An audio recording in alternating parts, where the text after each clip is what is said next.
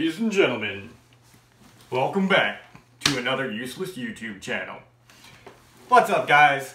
My name is Kevin Jackowitz. This is The Kaged Review.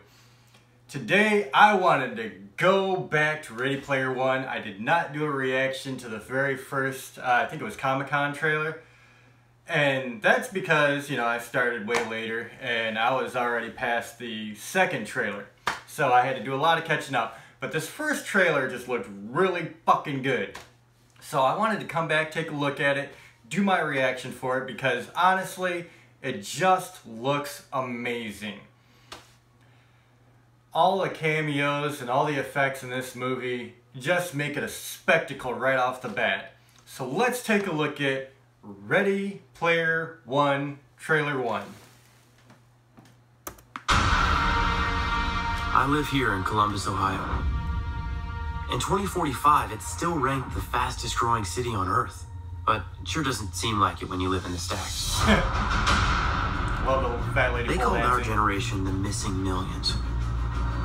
Missing not because we went anywhere. There's nowhere left to go. Nowhere except the oasis.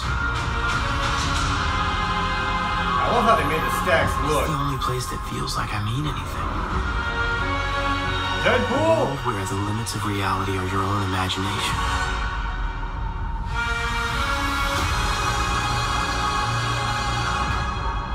Iron Giant.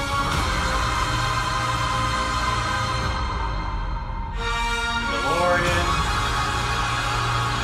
I love picking out all this shit.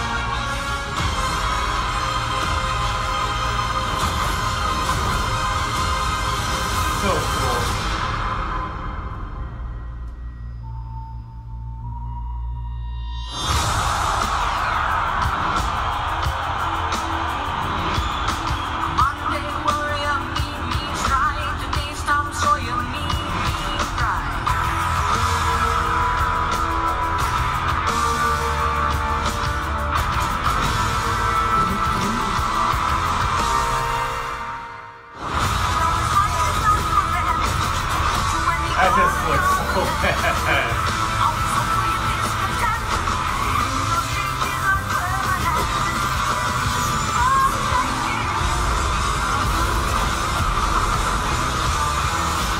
Visually, this movie just looks amazing.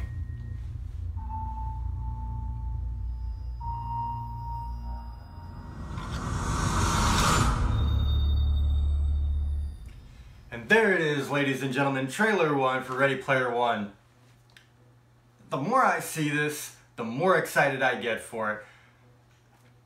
The storyline is really cool to begin with, but the fact that you got Spielberg behind this and a huge budget, and they, they clearly went to a lot of trouble to get all these icons from pop culture into this movie it just looks so fun. It's going to be so fun to sit in the theater and pick out all these icons that we know and love.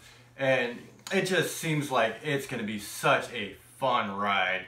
So, that's my reaction to this trailer. Let me know what you think in the comments below. This is Kevin Jackowitz with The Kaged Review. Kaged Nation out.